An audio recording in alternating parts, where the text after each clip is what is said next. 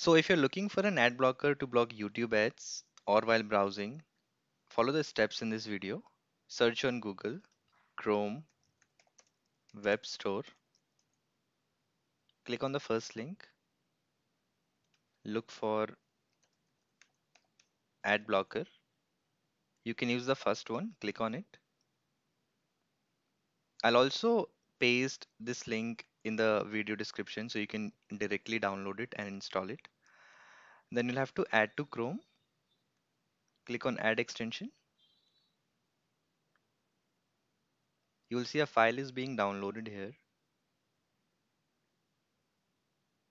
Click on the file.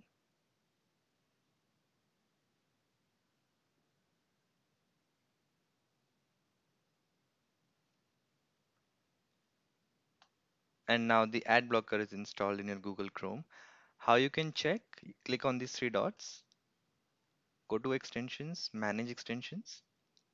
You can see ad blocker is installed.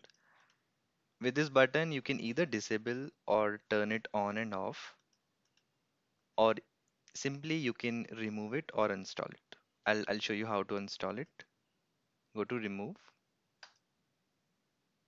and it's done.